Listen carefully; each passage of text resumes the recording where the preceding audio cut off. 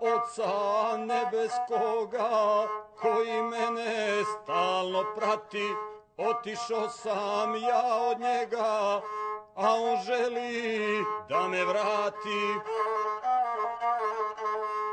On me čuva, on me pazi, da se kako ne izgubim, on me zove i doziva, dete drago, ja te ljubim. Sam čuo divne reči kao svoga roditelja i kazao dragom Bogu i moja je silna želja da sa tobom život živim, ja ti pružam obe ruke i slušat ću reči tvoje i tvoj zakon i poruke.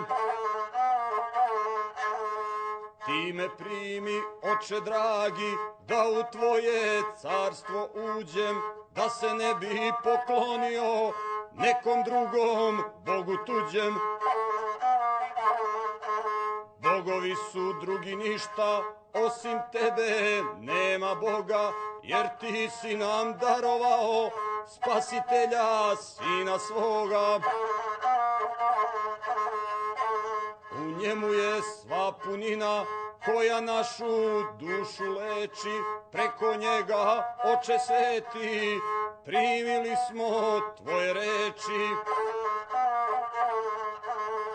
Reč je tvoja, oče dragi, blago mimo svako zlato, istinito i pravedno, i reč tvoju volim zato.